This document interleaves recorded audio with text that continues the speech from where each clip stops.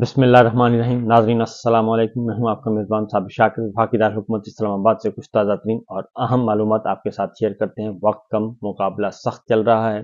عمران خان صاحب اور عمران خان صاحب کے مخالفین کے درمیان، کیونکہ عمران خان صاحب کے جو مخالفین ہیں، وہ چاہتے ہی ہیں کہ پلک جھپکتے ہی سب کچھ ان کی مرضی اور منشا کے مطابق ہو جائے اور ان کو اپوزیشن کوئی نہ ملے۔ کسی قسم کی اپوزیشن کہیں سے نہ ملے، نہ عدالت سے ملے نہ ہی صحافت سے ملے اور نہ ہی پارلیمان میں ان کو اپوزیشن ملے۔ لیکن عمران خان صاحب آج ایک بہت بڑا سرپرائز دینے والے ہیں اور وہ بہت سر، بڑا سرپرائز جو ہے، وہ قاضی صاحب کے لیے بھی ہوگا، وہ مسلم لیگ نواز کے لیے بھی ہوگا، وہ پیپلز پارٹی کے لیے بھی ہوگا، وہ اسٹیبلشمنٹ کے لیے بھی ہوگا۔ کیونکہ ایک طرف جال بنا جا رہا ہے، جال بچھایا جا رہا ہے عمران خان صاحب کو، پاکستان تحریک انصاف کو پھنسانے کے لیے۔ اور دوسری جانب اس جال میں پھنسایا جا رہا ہے جسٹس منصور علی شاہ صاحب کو، منیب اختر صاحب کو۔ ان کو بھی اور پھر ایک اور پھندا ڈالا گیا ہے، ایک دانہ ڈالا گیا ہے جسٹس جائیہ افریدی صاحب کو بھی۔ اس ساری صورتحال سے میں آپ کو آگاہ کروں گا، لیکن اس سے پہلے ذرا کچھ اور خبریں ہیں، وہ بھی لے لیں۔ توشہ خانہ کیس جو ہے، وہ آگے نہیں بڑھ پا رہا اور اس پہ فرد جرم عائد کرنا تھی اور بہت جلد کرنا تھی، کیونکہ عمران خان صاحب کے مخالفین ہیں۔ وہ کہتے ہیں، بس پلک جھپکنے میں سب کچھ ہو جائے اور عمران خان صاحب کو کئی مقدمات میں بلا سوچے سمجھے سزائیں سنا دی جائیں۔ لیکن اسپیشل جج سینٹرل شاہ رخ ارجمن جو ہیں، اڈیالہ جیل موجود تھے اور بشرا بی بی اور عمران خان صاحب بھی اس کیس میں ان کو پیش کیا گیا تھا۔ اور فرد جرم عائد کرنے کے لیے تاریخ مقرر تھی۔ لیکن عمران خان صاحب نے کل یہ کہا کہ جناب، میں نے ابھی تک مشاورت نہیں کی اپنے فیصل وکیلوں سے۔ اور میں ابھی فیصلہ نہیں کر سکا کہ کون سا وکیل اس کیس میں آرگو کرے گا۔ لہذا اس کے لیے وقت دیا جائے اور یہ وقت دے دیا گیا اور پانچ اکتوبر تک ملتوی کر دی گئی ہے اس مقدمے کی سماعت۔ یہ پہلا موقع ہے کہ اتنے دن دیے گئے ہیں اور پورے تین دن دے دیے، ورنہ بالعموم ہوتا یہ ہے کہ ایک دن کے بعد دوسرا اور دوسرے کے بعد تیسرا دن یہ اس طریقے سے ہیئرنگ ہو رہی ہے۔ لیکن یہ فرد جرم بھی عائد نہیں ہو سکی۔ اور پانچ اکتوبر تک ملتوی بھی کر دیا گیا۔ اس کے بعد القاد ٹرسٹ کیس ہے جی اسلام آباد ہائی کورٹ میں یہ کل درخواست عمران خان صاحب کی درخواست کی سماعت ہوئی۔ عمران خان بشرا بی بی نے بریت کی درخواست ڈالی ہوئی ہے اور اس پہ سماعت ہونا تھی، لیکن اس سماعت کو بھی دس اکتوبر تک ملتوی کر دیا گیا۔ عمران خان اور بشرا بی بی کے خلاف القاد ٹرسٹ کا کیس چل رہا ہے اور اس کے لیے دس اکتوبر تک توسیع بھی کرتی ہے اسلام آباد ہائی کورٹ نے۔ ٹرائل کورٹ کو احتساب عدالت کو روک دیا ہے کہ وہ دس اکتوبر تک اب اس فیصلہ، اس کا فیصلہ نہیں سنائیں گے۔ آپ ٹرائل جاری رکھیں، سماعت کرتے رہیں، لیکن فیصلہ نہیں سنائیں گے۔ اس طریقے سے دس اکتوبر تک یہ معاملہ چلا گیا۔ اس کے ساتھ ساتھ جی جو بڑی خبر ہے اس کی طرف بھی آتے ہیں، لیکن اس وقت ایک اور کام بھی چل رہا ہے۔ قاضی فائز عیسیٰ جو ہیں، وہ ہر روز ہر روز رنگے ہاتھوں پکڑے جاتے ہیں۔ اور ایسے پکڑے جاتے ہیں بلکہ ان کے جو طرفدار ہیں، ان کے دوست ہیں، وہی بتا دیتے ہیں کہ ہماری بات قاضی صاحب سے ہو چکی ہے۔ قاضی صاحب کے ساتھ میچ فکس ہو چکا ہے اور اس لیے کچھ پریشان ہونے کی ضرورت نہیں ہے۔ تریسٹھ کا فیصلہ ہمارے حق میں آئے گا۔ یہ بات روزے روشن کی طرح عیاں ہو چکی ہے۔ اب یہ ڈھکی چھپی نہیں ہے۔ اور کل بلاول بھٹو جو ہیں، ان کو یہ ٹاسک دیا گیا ہے۔ وہ بہت زیادہ ایکٹیو ہیں۔ اور اس وقت مریم صاحبہ اور بلاول صاحب کے درمیان اس وقت مقابلہ چل رہا ہے کہ کون زیادہ بوٹ پالش کا ماہر ہے۔ اب شہباز شریف صاحب جو ہیں، وہ درمیان میں سے نکل گئے ہیں اور چیری براسم کا مقابلہ جو ہے، وہ بلاول صاحبہ بلاول صاحب اور مریم صاحبہ کے درمیان ہو رہا ہے اور ان کے درمیان یہ چل رہا ہے۔ اس لیے جو بلاول ہیں، وہ ملاقاتیں بھی کر چکے ہیں، کر رہے ہیں انٹرویوز بھی دے رہے ہیں، بار کونسل میں بھی جا رہے ہیں، بار ایسوسیشن بھی جا رہے ہیں اور ایک ماحول بنانے کی کوشش کر رہے ہیں۔ لیکن وہ یہ ہے جی کہ بلاول صاحب کے منہ سے کل ایک سچی بات نکل آئی اور انہوں نے بھی اس بات کی تصدیق کر دی جو عمران خان صاحب جیل میں بیٹھ کے کرتے ہیں۔ لیکن اب ایک اور کردار سامنے آیا ہے۔ عمران خان صاحب تو کہتے تھے کہ لندن معاہدہ قاضی فائز عیسیٰ اور نواز شریف صاحب کے درمیان اور آسم صاحب کے درمیان ہے۔ وہ عمران خان صاحب یہ کہتے آ رہے ہیں۔ لیکن ایک اور کردار بھی آ چکا ہے جو قاضی صاحب کے ساتھ اس نے میچ فکس کیا ہوا ہے اور وہ ہیں جناب بلاول صاحب۔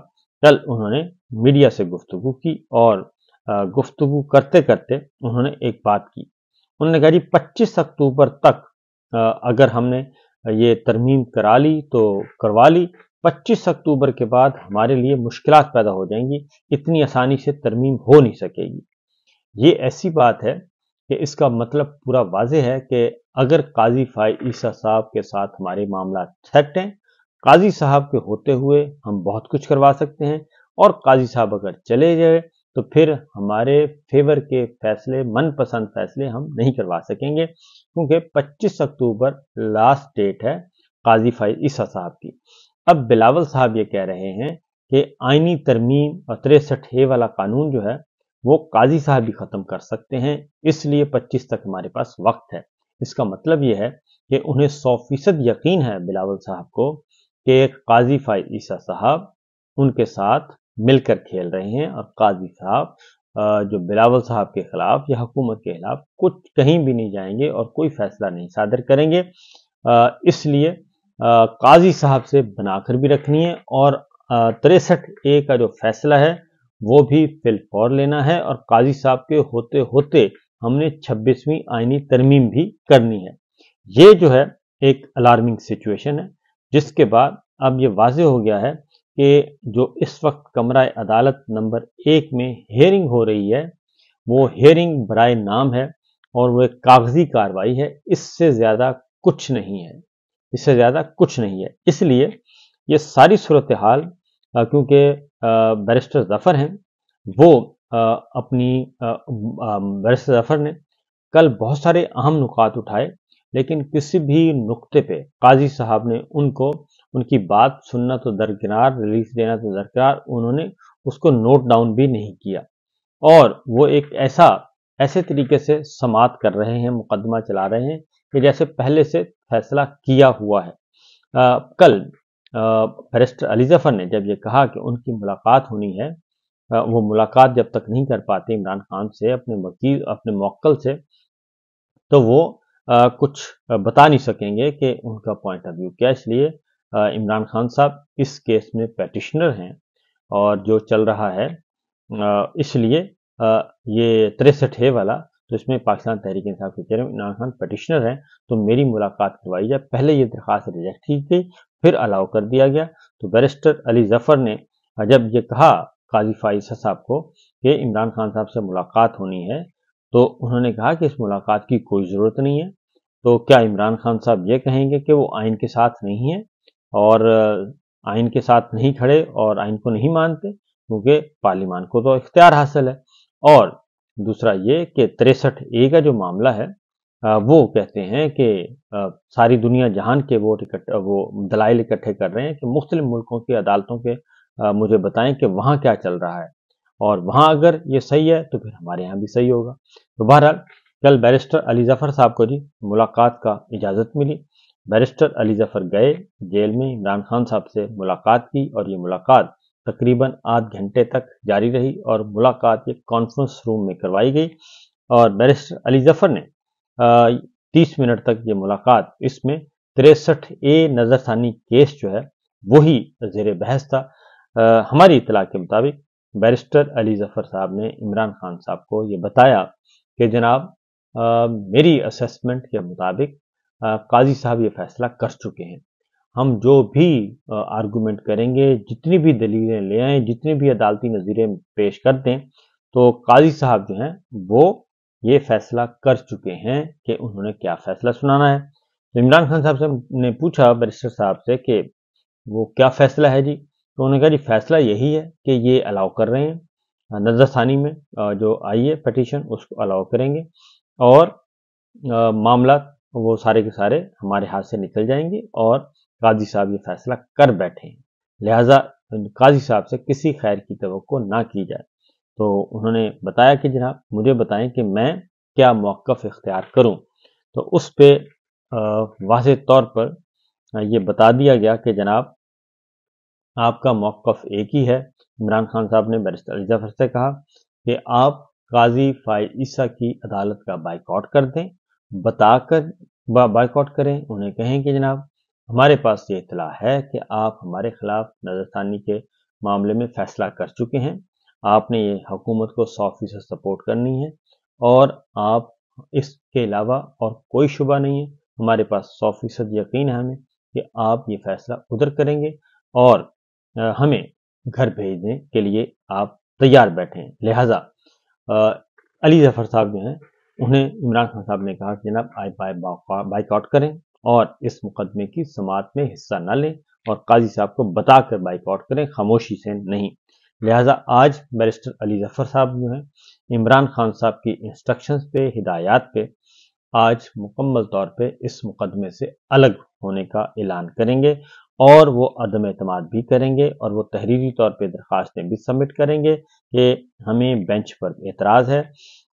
دوسرا، یہ مقدمہ جو سنا جا رہا ہے، یہ غیر آئینی طور پہ ججز کمیٹی کے فیصلوں کے برعکس، اور ججز کمیٹی ابھی اجلاس نہیں ہوتا، وہ ٹوٹ چکی ہے اور غیر آئینی طور پہ توڑی گئی ہے۔ لہٰذا اس پہ بھی انہوں نے کہا کہ جی نا آپ یہ کہہ دیں۔ لہٰذا آج بیرسٹر علی ظفر صاحب جو ہیں، قاضی فائز صاحب کو بہت بڑا سرپرائز دینے والے ہیں۔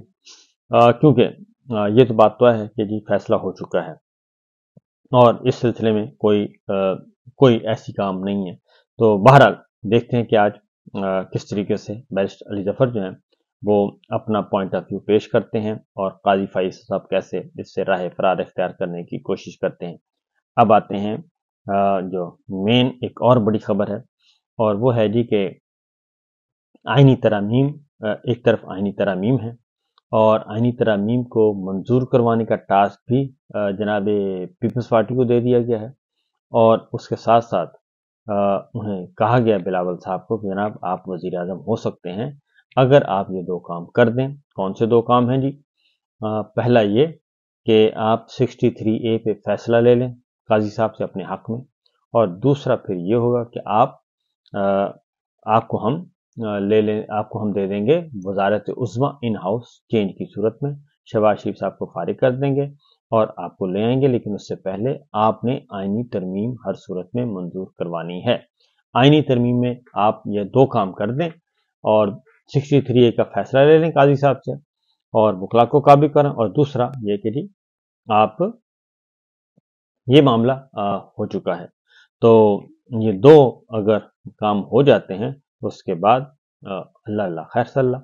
تو بہرحال یہ اب دوسری جانب ایک اور جو خطرہ ہوا ہوا ہے جی کہ ایک طرف تو بلاول صاحب ہیں، وہ اس ٹاسک کو پورا کرنے کے لیے پرعزم ہیں کہ میں سکسٹی تھری اے کا فیصلہ بھی لے لوں گا قاضی صاحب سے، اور دوسرا فیصلہ لینے کے بعد اگلا کام بھی میرے ذمہ ہے، آئینی ترامیم بھی میں منظور کروا لوں گا اور بندے بھی میں پورے کر لوں گا۔